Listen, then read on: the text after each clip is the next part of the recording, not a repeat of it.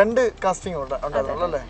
എന്തായിരുന്നു ഇതിന്റെ main thread എന്തായിരുന്നു? ഓക്കെ എന്റെ അടുത്ത് ഒരുപാട് പേര് ചോദിച്ചു ഈ സിനിമ കൊണ്ട് നിങ്ങൾ എന്താ ഉദ്ദേശിക്കുന്നത് ഇത് നൽകുന്ന സന്ദേശം എന്താണെന്ന് അങ്ങനെ അങ്ങനെയൊന്നും ഇല്ല കേട്ടോ ആക്ച്വലി ആശയപരമായിട്ട് ഒരു പ്രമേയവും ഇത് മുൻനിർത്തുന്നില്ല. ഇതൊരു സിറ്റുവേഷൻ ആണ്.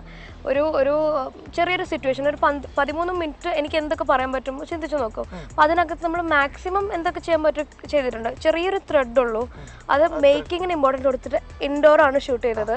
വിത്തൗട്ട് ലൈറ്റ് സിക്സ്റ്റി ഡിയിലാണ് ഷൂട്ട് ചെയ്തത്. ഇതെല്ലാം വളരെ റിസ്ക് ഫാക്ടറാണ് അപ്പം ഇതെല്ലാം വെച്ചുകൊണ്ട് തന്നെ പിന്നെ പുതുമുഖങ്ങളെ വെച്ച് ട്രൈ ചെയ്യുക. അപ്പോൾ ഇതിന് വലിയൊരു ആശയമായിട്ടൊന്നുമില്ല. എനിക്ക് ഇതുവഴി ഒരു മെസ്സേജും നാട്ടുകാർക്ക് പറഞ്ഞു കൊടുക്കാനില്ല. ഇതുവഴി ഒരു ഡയറക്ടോറിയൽ വർക്ക് എന്ന രീതിയിൽ നിങ്ങളിത് കാണാം. ഒരു ഡിബ്യൂട്ട് ഒരു ഒരു ബ്ലാങ്ക് എക്സ്പീരിയൻസ് ഉള്ള ഒരാളുടെ ഫസ്റ്റ് വർക്ക് അപ്പോൾ എനിക്ക് ആ ഒരു മേഖലയിൽ ഞാൻ കൂടുതൽ കോൺസെൻട്രേറ്റ് ചെയ്തത്. ഒരു ഇൻട്രസ്റ്റിംഗ് ആയിട്ട് ക്ലിക്ക് ആവുന്ന ഒരു ത്രെഡ് കിട്ടി. That's it. കണ്ട് മനസ്സിലാക്കും. മേ ബി എന്നോട് ഒരുപാട് പേര് ഇതിന്റെ റിവ്യൂ പറഞ്ഞപ്പോൾ പറഞ്ഞു ഇങ്ങനത്തെ സ്ക്രിപ്റ്റ്സ് അല്ലെങ്കിൽ ഇങ്ങനത്തെ കഥകൾ ഞങ്ങൾ ഒരുപാട് കേട്ടിട്ടുണ്ട്.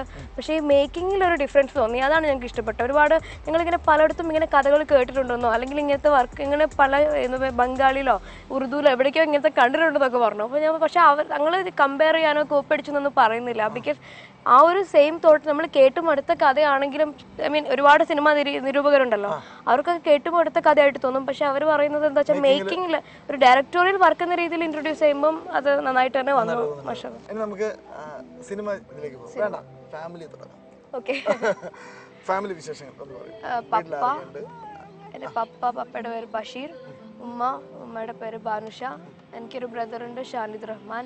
പുള്ളി റിവലേഷനിൽ രണ്ട് ക്യാരക്ടറിൽ ഒരാൾ. ഇപ്പം എന്തെങ്കിലും ഇതിനെ കൂടുതൽ പഠിക്കുന്നുണ്ടോ അതോ? ഞാനിപ്പോൾ പ്ലസ് ടു കഴിഞ്ഞു. പ്ലസ് ടു കഴിഞ്ഞ വെക്കേഷനിലാണ് ഞാനൊരു തമിഴ് പടം ചെയ്തു. അത് കഴിഞ്ഞ് നേരെ വന്ന് ഷോർട്ട് ഫിലിം തമിഴിലേക്കൊക്കെ പോയി തമിഴിൽ നായികയായിട്ട് വരസിക്കൊണ്ടിരിക്കുന്ന ആളാണ്. ഇപ്പം ഇത് കഴിഞ്ഞ് short film plus two vacation എന്താണ് എന്താണ് പ്ലാൻ മഹാരാജാസിൽ കൊടുത്തിട്ടുണ്ട് ലിറ്ററേച്ചറിന് കിട്ടിയാൽ മതിയായിരുന്നു. കാരണം മഹാരാജാസ് എന്ന് വെച്ച് കഴിഞ്ഞാൽ എന്താ പറയുക കുറെ പുലികൾ പഠിച്ചിറങ്ങിയ ഒരു അതെ അല്ലേ? അവിടെ നിന്ന് ഇറങ്ങിയ ആൾക്കാരൊക്കെ ശ്രദ്ധിച്ചു കഴിഞ്ഞാൽ എല്ലാവരും ഒരു തരത്തിലായാലും മറ്റു തരത്തിൽ ജീനിയസുകളാണ് അതുകൊണ്ടാണോ അങ്ങോട്ട് തന്നെ? അല്ല എനിക്ക് ഈ കോളേജിൽ പഠിക്കുന്നത് ഞാൻ പഠിച്ച് ഡോക്ടർ ആവാനോ എഞ്ചിനീയർ ആവാനോ പോകുന്നില്ല. അത് ഗ്യാരണ്ടി ആണ്. പിന്നെ എനിക്ക് എന്തെങ്കിലുമൊക്കെ ഒരു ഡിഗ്രി വേണം. പിന്നെ നല്ലൊരു കോളേജ് പൾസ് ഉള്ള സ്ഥലമാണെന്നുണ്ടെങ്കിൽ ആ ആണെങ്കിൽ നമുക്കൊരു എക്സ്പീരിയൻസ് ആയല്ലോ. ഈ ഭാവിയിൽ ഒരു കോളേജ് കഥയൊക്കെ ഇറക്കുമ്പോൾ നല്ലൊരു മെമ്മറീസ് ഉണ്ടെങ്കിൽ നല്ലതല്ലേ?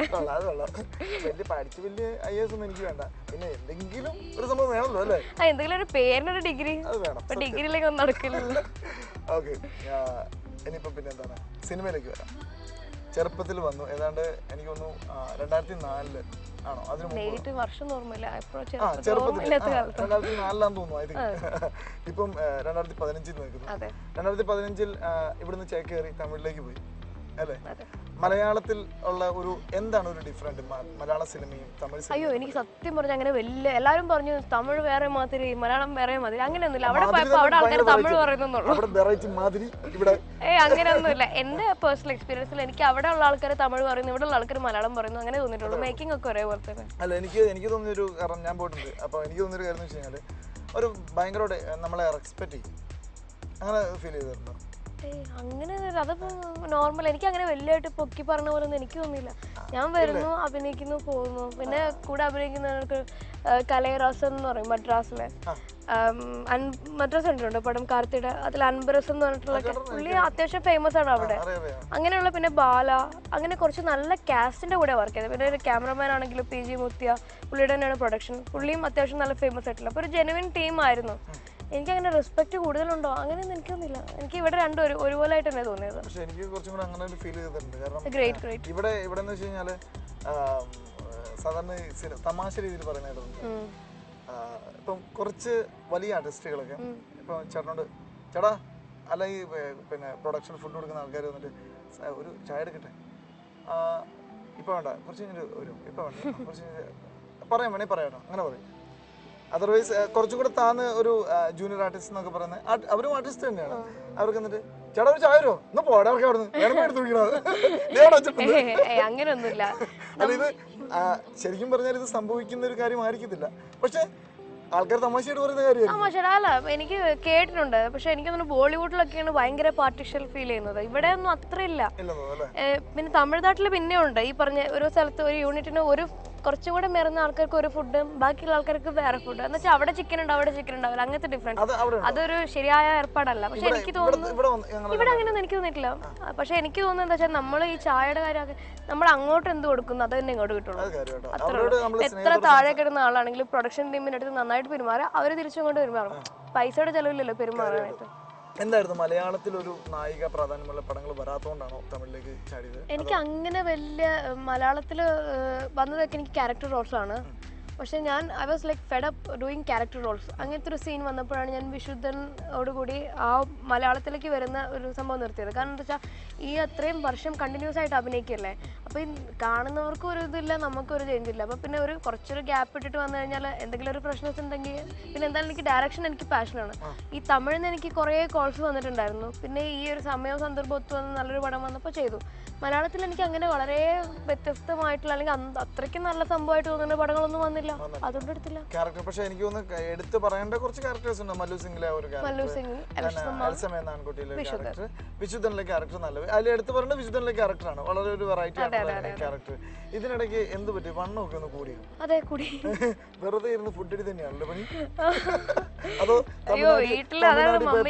തമിഴ്നാട്ടിൽ- പോയപ്പം- അവർ സ്നേഹത്തോടെ അവർ മോളെ കഴിക്ക്. ഞങ്ങളുടെ നായിക ഹീറോയിൻ മുറി കഴിപ്പിച്ചോ. ഏ അങ്ങനെയൊന്നുമില്ല. അവിടെ എല്ലാരും തമിഴ് ഫിലിമിന്റെ ഷൂട്ടിങ്ങിന് പോണ ഒരു മാസം മുമ്പ് ഡയറ്റ് ആയിരുന്നു. അപ്പം മെലിഞ്ഞു. പിന്നെ ഈ തടി കൂടുന്നത് എന്താ വെച്ചാൽ ഞാനാണെങ്കിൽ എനിക്ക് ട്രൂ ലെവലുള്ളത് ഭക്ഷണത്തോടാ. ഞാൻ നന്നായിട്ട് കഴിക്കുന്നതാ ഏറ്റവും നന്നായിട്ട് എന്താ കഴിക്കുക ചിക്കൻ ചിക്കൻ ഞാൻ ഒരു മീൻ മലബാർ രക്തമല്ലേ? ഞങ്ങൾ നന്നായിട്ട് ഫുഡിന്റെ ആൾക്കാരാ.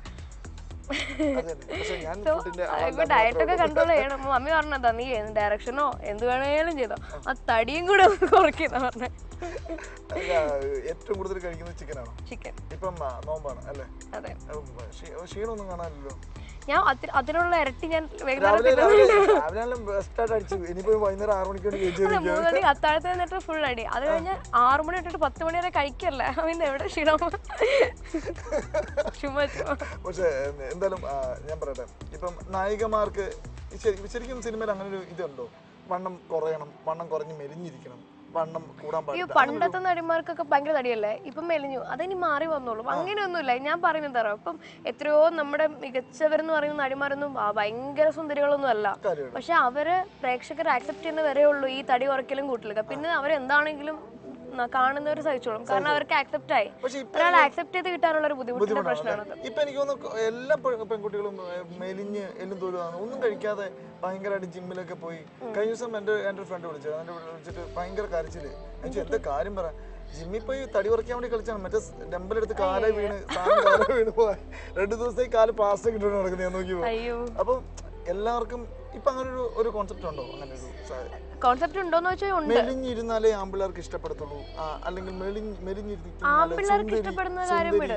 ആമ്പിള്ളേർക്ക് വെളിയിലും തടിയിലൊന്നും ഇല്ല അവർക്ക് സ്വഭാവം വെച്ചിട്ട് അതൊന്നും ഒരു മാറ്റർ അല്ല. ഇഷ്ടപ്പെടുന്ന കാര്യം പെണ്ണൊരു സുന്ദരിയാണെന്ന് പറയണെങ്കിൽ മെലിഞ്ഞിരിക്കണം. അങ്ങനെ അങ്ങനെ എന്തെങ്കിലും അങ്ങനെയൊന്നും എനിക്ക് എനിക്ക് തോന്നുന്നു പക്ഷെ ഓരോരുത്തരുടെ കാഴ്ചപ്പാട്. ചില ആൾക്കാർക്ക് മെലിഞ്ഞ പിള്ളേരായിരിക്കും ഇഷ്ടം ചില ആൾക്കാർക്ക് പക്ഷെ സിനിമയിൽ പറയുമ്പോൾ ഞാൻ പറയട്ടെ ഒരു നായകൻ അപ്രോച്ച് ചെയ്യുമ്പോൾ ഓ ഇവർക്ക് തടി കൂടുതലാ. അത് തീർച്ചയായിട്ടും ഉള്ള ഒരു ടോക്കാണ് പക്ഷെ അതൊരു എന്താ പറയാ അത് എനിക്ക് പ്രാക്ടിക്കൽ വശം നോക്കുകയാണെന്നുണ്ടെങ്കിൽ പ്രേക്ഷകരൊന്ന് ആക്സെപ്റ്റ് ചെയ്യണ വരെ ഉള്ളൂ ഈ ഒരു തടി ഉറക്കലും മെലിയലും പ്രശ്നങ്ങളൊക്കെ. അവരൊന്ന് ആക്സെപ്റ്റ് ചെയ്ത് കിട്ടിയ പിന്നെ നമ്മൾ എന്ത് കോലാണെങ്കിലും എന്ത് ഇതാണെങ്കിലും ഡേറ്റിന് വേണ്ടിയിട്ട് അവർ നടക്കലും അതൊക്കെ ഉണ്ട്. അതൊക്കെ ഒരു സിനിമയുടെ ഒരു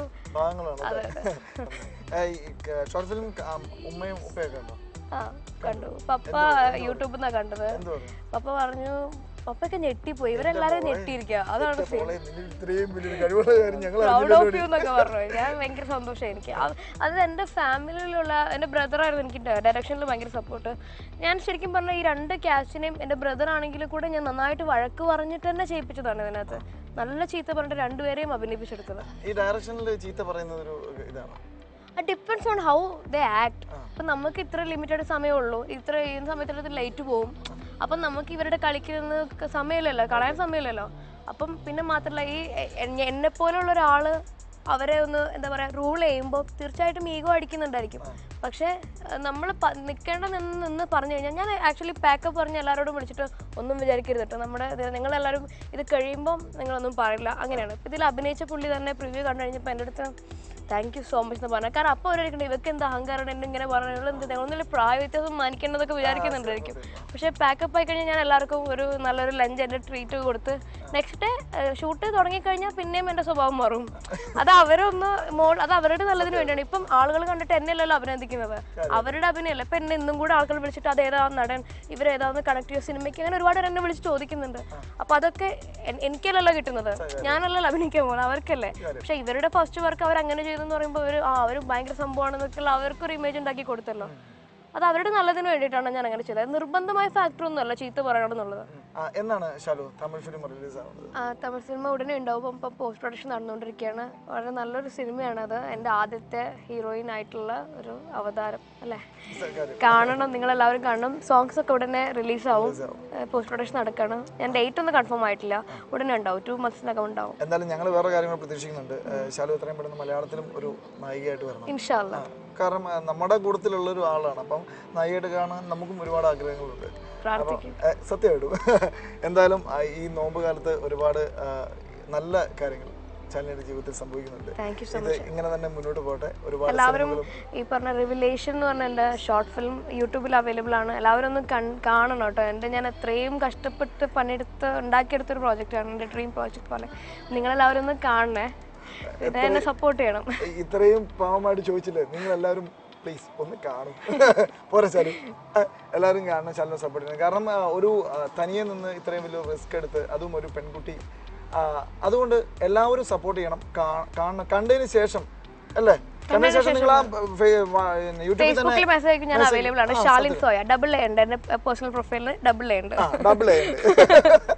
അപ്പോൾ എനിവേ അപ്പോൾ ഈ പറഞ്ഞ പോലെ തന്നെ എല്ലാവിധ മംഗളങ്ങളും നേരുന്നു. മലയാള സിനിമയിൽ ഇനിയും നിറഞ്ഞു നിൽക്കട്ടെ തമിഴ് സിനിമയിൽ. തമിഴിൽ നിന്ന് അങ്ങോട്ട് ചാടി തെലുങ്കിലേക്കൊക്കെ പോട്ടെ. അതാണല്ലോ വേണ്ടത്. ഇവിടെ നിന്നല്ല ഇവിടെ ഇപ്പൊ നിൽക്കുന്ന വിവരങ്ങളിൽ നിന്നൊക്കെ വളർന്ന് ഇനിയിപ്പം അത് പറഞ്ഞ പോലെ ഈ വർഷം തന്നെ സിനിമ ചെയ്യാൻ സാധിക്കട്ടെ അത് തന്നെ വലിയൊരു കാര്യമാണ്. അപ്പോൾ എല്ലാവിധ മംഗളങ്ങളും നേരുന്നു. ഒരുപാട് നന്ദി. താങ്ക് യു സോ മച്ച് ഞങ്ങളുടെ കൂടെ ഇരുന്നതിന്.